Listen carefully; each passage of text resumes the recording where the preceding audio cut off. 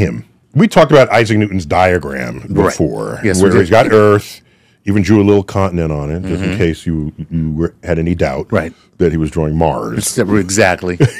and you can drop an object, such as an apple falling straight down, or you can give an object sideways speed. right. Okay?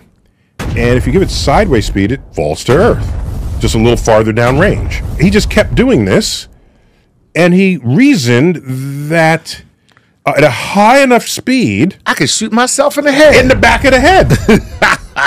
but wait a minute. If you've done that, duck, first of all, if you duck, what does it do at that point? Does it just fall out of the out of the sky? No, it'll keep going with no rockets, no anything.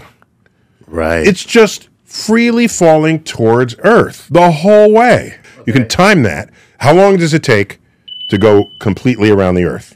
Okay? And that takes 90 minutes.